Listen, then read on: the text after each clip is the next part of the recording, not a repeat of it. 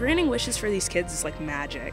It's putting a smile on their faces, giving them hope to fight and to battle, and just seeing their faces light up brightens my day.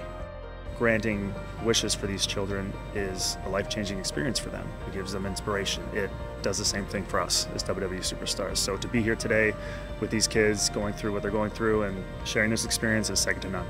Glad you guys could all come here and see this and, and be a part of what we do. But I've heard that you all have big wishes as well, right?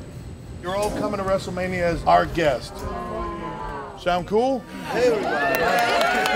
I mean, you could tell they were so happy. They were smiling from ear to ear, they were laughing, they were having the best time ever. It's just a great feeling. It's a great day. They're smiling, we're smiling, and everybody's happy. And that's what it's all about, really.